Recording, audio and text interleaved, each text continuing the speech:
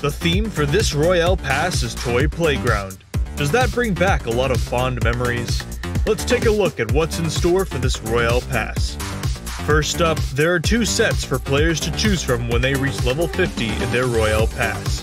The Ice Ranger and Fire Ranger sets make you the real hero on the battlefield. There's also the Puppet Agent series with three different sets, with a Mythic Nebula Hero set waiting to be unlocked. Apart from these sets, there are many exquisite firearm and vehicle finishes also available. In particular, this Toy Alliance Vector finish is my absolute favorite.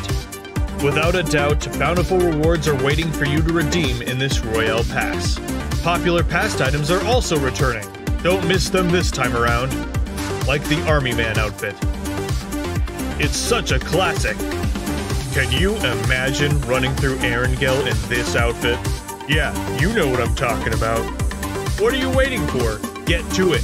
Start your Royale Pass 13 journey now. Royale Pass. You deserve it.